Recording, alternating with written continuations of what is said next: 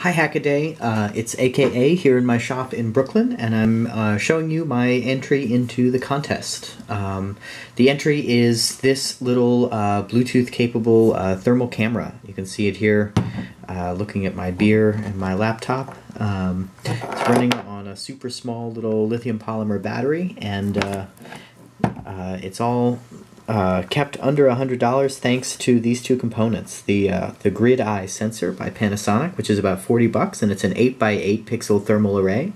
Um, and the RFduino, which is a cool um, ARM Cortex M0 Bluetooth 4 enabled Arduino clone. Um, so I had a great time with both of these. I had always wanted thermal vision ever since I was a kid, um, and as other technologies like lasers and stuff came into you know sort of the convenience store realm of availability, all these technological miracles. Um, thermal thermal vision never went there, uh, so I was really excited to see the uh, the uh, IR Blue project on Kickstarter a while ago. Um, and so I ordered one, and I really liked the open source approach to it and everything.